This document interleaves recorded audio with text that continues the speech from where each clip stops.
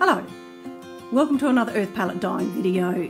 I'm Jane, the owner of Earth Palette, and today we're going to be dyeing a pair of stockpile woolen socks. So come with me and we'll get on with it. Okay, so these are the socks that we're going to be dyeing today. As you can see, the stockpile socks. They are merino wool made in Australia from Australian merino and they're machine washable.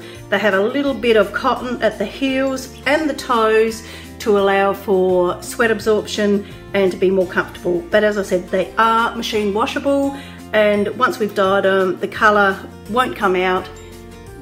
It'll stay there forever. Okay, so We've got our dyes already mixed up. These are the dyes we're using. Earth Palette dyes are made in Australia. They are considered to be a cold set dye. Traditionally, wool dyes have been a matter of boiling or not quite boiling, holding fibre like wool or protein fibres, alpaca, silk at high temperatures to enable the dyes to set. But with these dyes, they are called cold set dyes because they only need a temperature of about 23 to 25 degrees to actually set the dyes. They are fibre reactive dyes. They actually bond permanently to the fibre and won't wash out. They last, once you, I've mixed these up already, once they're mixed into a solution, they will last for many, many years as long as you keep them in a sealed container. Um, be careful with children because they do look nice and bright and although they're not considered to be poisonous, we don't really want the children to drink them at all. So the dye powder is mixed with warm water and um, everything you need is actually in these containers. The dye, the fixative, everything's in them. The acid, you don't need it to add anything else except water to give you your dye liquor and then continue on dyeing. Okay, so we have our socks ready to dye. Um, I've already mixed our dyes up into a liquid, so we're ready to go. The socks have been soaking in um, water. I like to add a little bit of vinegar or citric acid to mine, but it's not um, essential because you've already got acid in with your dye mixture.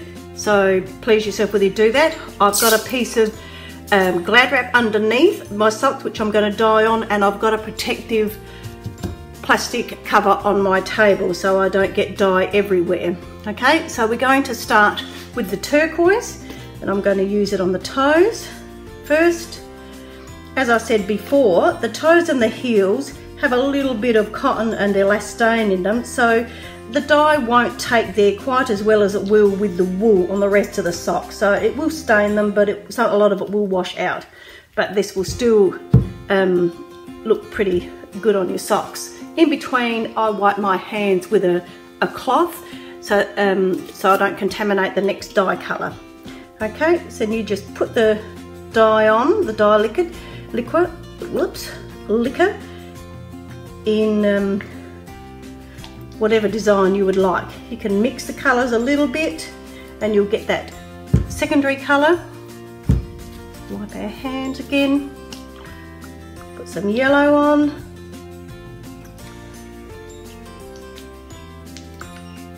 I just work it in a little bit with my fingers, but we're going to turn it over and do the other side so I don't get too um, particular about it.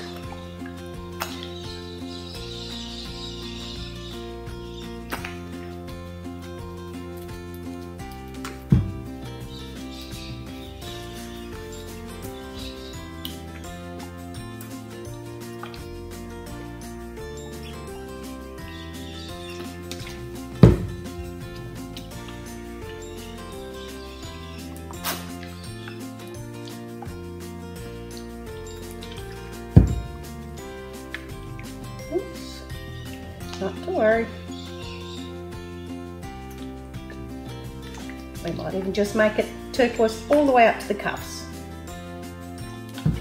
Right, we just work it in a little bit with our fingers. We wipe our hands free and then we flip our sock over so that we can put a little bit more dye on the other side. As you can see, it is already soaking through but we'll just put a little bit on to cover up all the white spots.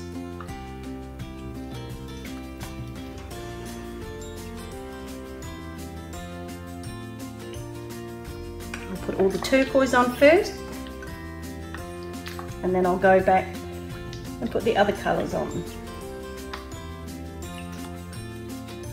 This time I'll make sure all my white spots are covered up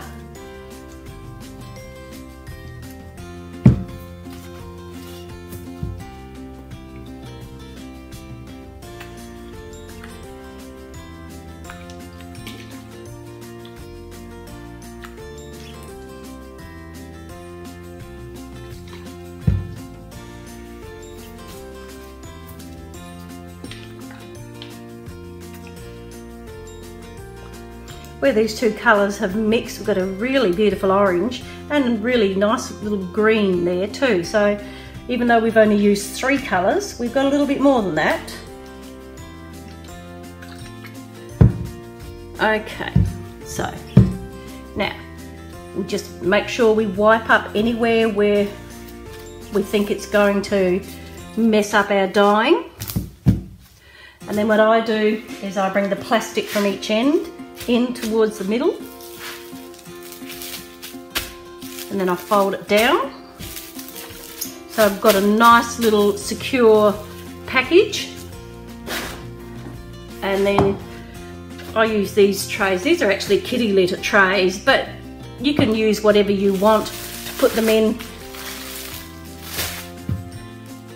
And then I leave them overnight I would leave these in my studio overnight because it's a little bit warmer than it is outside because it's the middle of June here and it's only about 14, 15 degrees outside. But we'll come back tomorrow morning and see how these look. So it's the next morning and um, it was pretty cold here last night. In my studio it was only about 15 degrees. So this morning I actually did put these socks into my microwave that I use for dyeing and I give them, I gave them two minutes, zapped them for two minutes and then I left them for about two hours. So we'll unwrap them and have a look. I can see when I do give them a little bit of a squeeze that the um, dye liquor is pretty clear.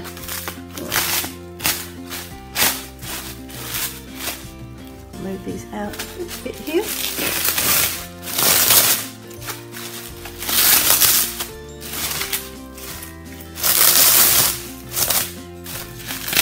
Now as you can see, you can see the, the liquid running off the side here. Can you see that? That is all very, very faintly tinged, but it really doesn't have any colour. So the turquoise possibly might have a bit more, but not a lot and that means that your dyes are set and they are actually ready to be rinsed out and um, dried. Now I just rinse them in water that's the same temperature as the socks are so that's about barely warm. Okay so cold water is just fine because they're machine washable you don't have to be quite so stressed about making sure you don't change the temperature of the water. So I give them a good rinse, I squeeze them out give them a good rinse. As you can see, that that's quite clear, that dye liquor that's running out. Um, I rinse them just in cold water by hand and then um, I dry them somewhere flat in the shade. I prefer not to hang any of my dyed stuff on the line to dry because I think it just um, doesn't keep it as its best. Um, and after this, Feel free, once you've rinsed them out, to get rid of the dye liquor and any um, residual citric acid or anything that's in there, thickener, whatever. Feel free to wash them in the wash machine on a wool cycle um, and dry them wherever you like. You can dry them on the line if you want, but if you do, just make sure you turn them inside out so that the colours don't fade in the sunshine. Okay, so I've rinsed out the socks. Here they are. The colours are beautifully bright. This is the colour you get if you use the dyes full strength. So once you mix up the dye powder with warm water and create that dye liquor, this is the colour that they come out as. Okay, so now we'll just let these dry and then they're ready to wear. Thank you for joining me. Um, please like the video. If you have any comments or um, questions, please post them in the comment section underneath and we will bring you more videos, tutorials on using the earth palette dyes in the near future. Have a good day.